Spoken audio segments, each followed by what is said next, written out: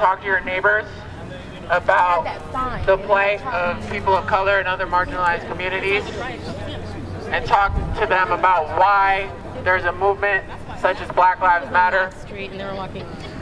The truth of the matter is, is, is in America, Black lives should matter and they don't.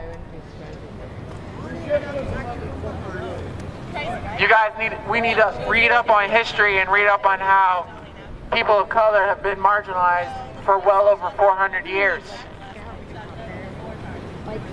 That is our job. Our job is to learn from people of color, communities of color, about the effects of racism in America and white supremacy in America.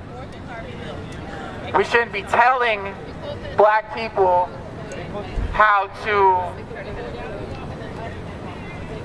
uh, express their pain.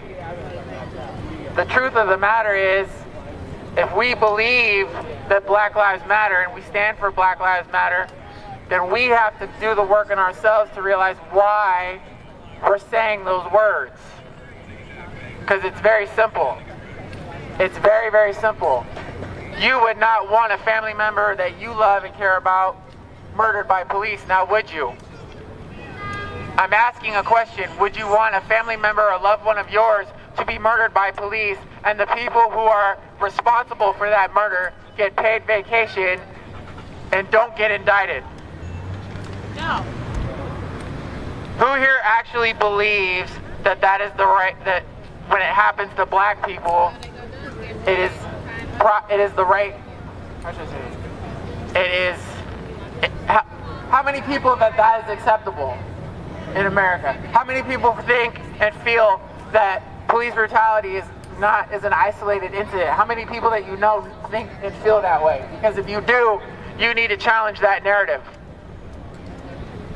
Challenge the narrative of your friends and your family members who believe other believe in different ideas about the Black Lives Matter movement and why black people and people of color and other marginalized groups feel the way that they feel.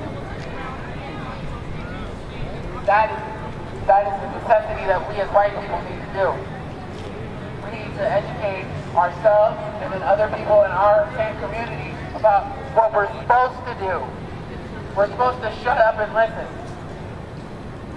We're supposed to shut the fuck up and listen. Excuse my language.